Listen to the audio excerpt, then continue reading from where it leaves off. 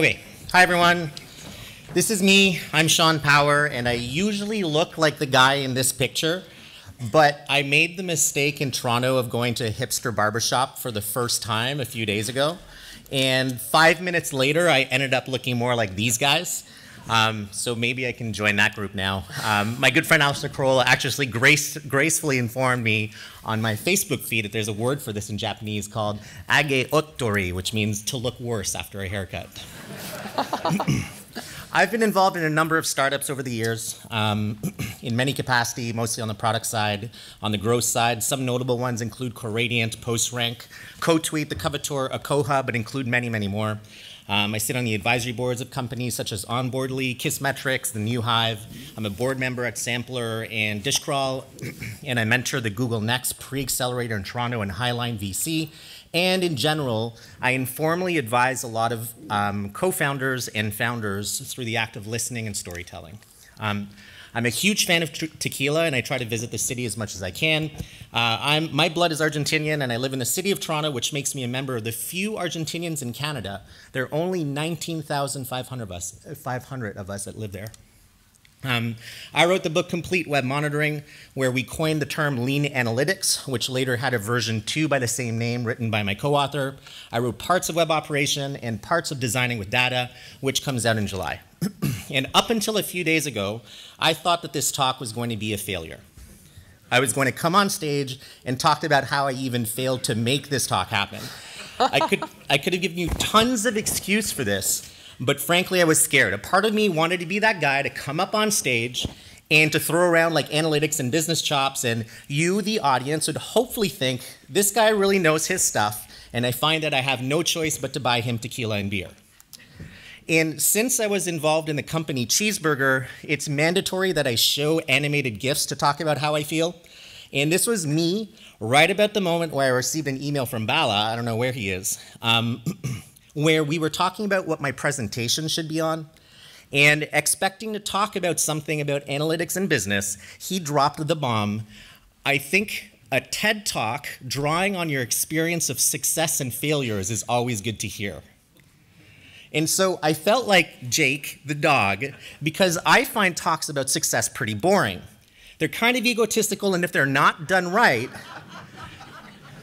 they're kind of they're uh, sorry they're kind of egotistical and if they're not done right and they're so much better in a, in a one-on-one setting or at least in an intimate one. And so i could go through the stories of the books the startups the growths the acquisitions things are good i'm the best we're done. See it's pretty boring. Thank you and so I'm Jake the dog because I knew that I need to find the guts to talk about things that I don't want to talk about. Because talking about failure, in my opinion, is so much more interesting, but so much harder. And not enough people talk about it. And so, like I said earlier, for the next 10 minutes, I get to talk to you about failure and how much I suck.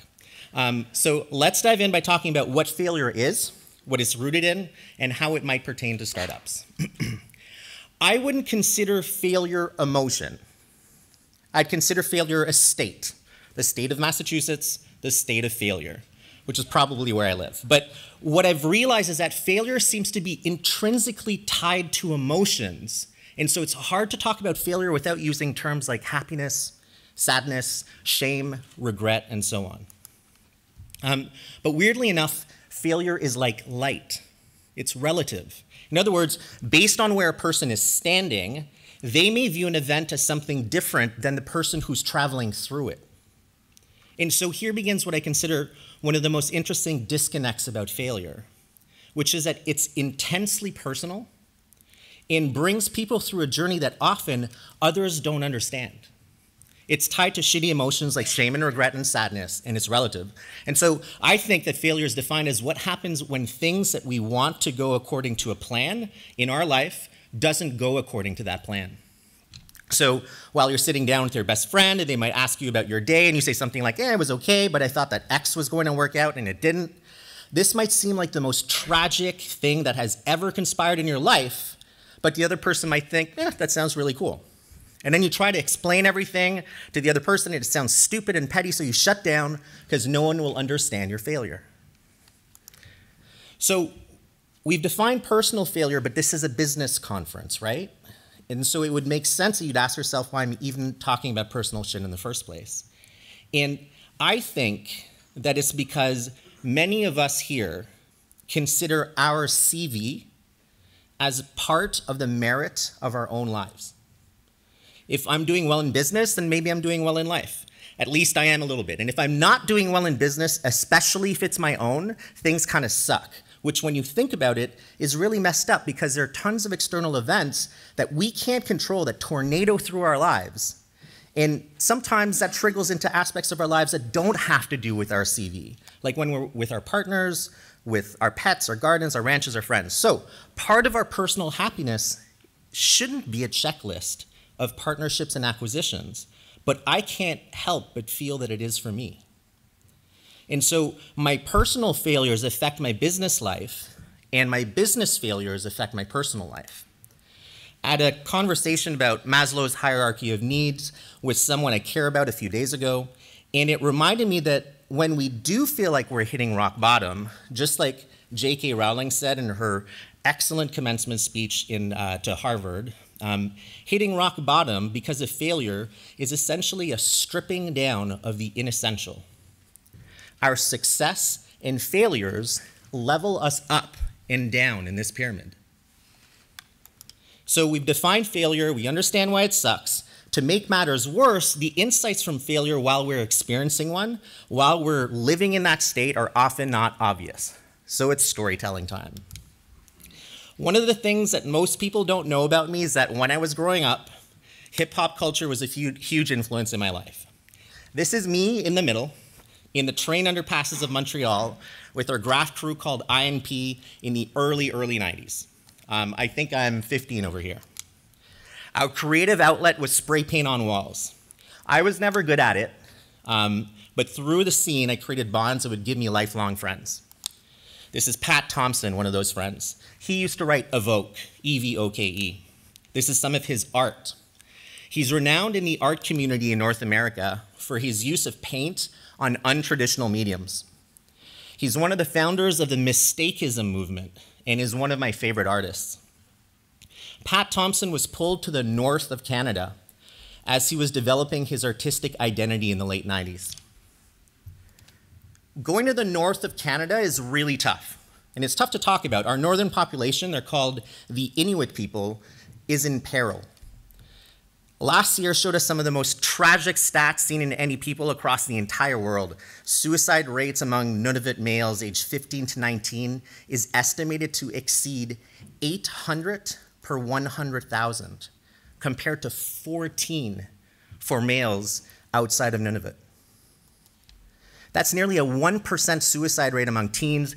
27% of all deaths since 1999 have been suicides. This is one of the highest, most tragic numbers in the world. The rate of addiction is also heartbreaking. Drugs, alcohol, gambling, they're just rotting the communities up north from the inside. So, as Pat put it to me over drinks literally last week, um, he hasn't met a child that's not been a victim of these afflictions in all the years that he spent up north. So, what brought him up north to the first place is the point of this story. He received a grant to go and paint a mural in the heart of Cape Dorset. So that's Reykjavik up there, that's Cape Dorset over there. Um, so about the same parallel. His grant was around painting a large mural in front of the, in front of the Qikiqtani General Hospital. This is it right there. If your world that surrounds you is vast open lands and gray concrete, Pat reasoned that working with the community to bring it color could maybe help to begin to turn the tide of hope. And so let's do a little bit of mental exercise here. Imagine that you're in a subway car or a freight train or whatever. Imagine that you're in a train. Now, picture yourself walking in from one side of the train all the way to the other. Now do that nine times. So you're going from one train to the other, to the other, to the other, to the other. Now look up and imagine that there's a train above you. That's the scale of this mural. It was challenging for Pat because despite creating a work of art that honored the traditions and values of the people who lived in the community, it wasn't well received as he was doing it. I get that we're getting in uncomfortable territory, but this is a reality. Many women and men in the community up north are distrustful of white men in general, and Pat's white. And so we're the opposite of encouraging while Pat was doing his work. Some told him to leave the city, some would spit on the mural, some broke empty bottles near Pat, and the others were working.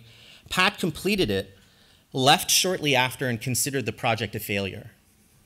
He hadn't understood that behind the mural were much larger socioeconomic and political challenges at play, and that who applied the color was just as important as what was represented by it. So three years later, Pat's walking around in Ottawa and notices a small man, no more than five foot one, at the corner of a street. He nods and says, Hey, you're from the north, aren't you? And the man's surprised. He wondered how Pat knew. Pat explained that he spent some time in Cape Dorset, that he had interact, interacted with members of the community, and that he had done a mural there. So the man was shocked, and without saying much more, asked Pat if he'd like to join him for drinks um, to meet some of his buddies. The drinks were at a strip club. Um, let's take a moment to acknowledge that this isn't Pat's kind of place, but bemused, he's like, fuck it, why not? And so, with a five foot one man in tow, this is the inside, by the way, of the place in Ottawa. With a five foot one man in tow, he headed to this local strip club in downtown Ottawa. And in the middle of a club, sitting around this circular, or kind of like this stage with a pole in it, um, were 13 short Inuit men. So Pat shrugged, sat down, had a beer. And there are murmurs around the stage from the men. And he, over, he overheard one of them ask his host, the guy who had brought him there, why he had brought a qallunaat to share drinks with them. Now, a qallunaat is not a nice word, but it's one used to refer to a white man from the Inuit people. So Pat's sitting there, just quietly drinking his beer. And his host whispers something to his neighbor, and a game of telephone begins around this stage um, as one man whispers a few phrases to the next. Now, this happens up and down the line a few times with no one addressing him. It's awkward. Um, finally, his host stands up, pats him on the shoulder, tells him to stay put, and the host goes and sits all the way across on the opposite side of the circle. So, that means that now there's an empty seat right next to Pat. And the person sitting next to the empty, seats moves to the seat besides Pat. He says to him, Are you really the guy that painted the mural? Pat's like, Yup. And the man tells him a small story about how much a mural means to him. And this begins to happen 13 times. Each man taking about 10 minutes each in their own unique ways how the mural impacted their lives. And as soon as I heard Pat tell me this part, this is when I knew that this was a story that we were going to talk about today. One man said, My daughter killed herself a few years back. And I find that one of the faces that you painted reminds me of her. And so I like to go there every once in a while to remember her. And he just sat there in silence for like 10 minutes and then got up and gave the seat to, to his neighbor, who also went to share a story with him. All of this is happening while there's a person on stage doing whatever it is that they do. So, in that surreal moment in a strip club in Ottawa, as a result of a complete chance encounter, Pat literally had a life changing event.